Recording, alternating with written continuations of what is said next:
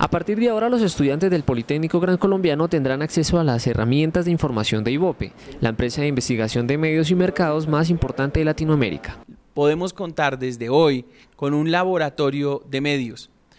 Una de nuestras salas de cómputo hoy ha logrado tener eh, no solo la información tan importante de Ivope, sino también los aplicativos para poderla administrar. Curvas de rating, chequeos de pauta y target son algunas de las plataformas de datos de consumo que estarán a disposición de los alumnos.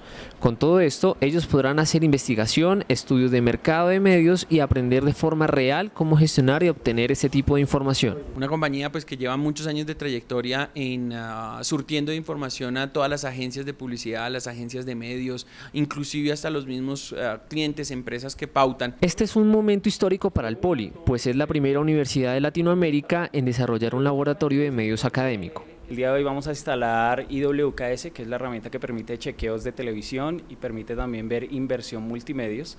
Eh, para ver justamente cómo se comportan las campañas publicitarias. La instalación del software se llevó a cabo en la sala 102 del Centro de Cómputo del Poli. Ahí los estudiantes recibirán la capacitación necesaria para aprovechar al máximo este nuevo recurso.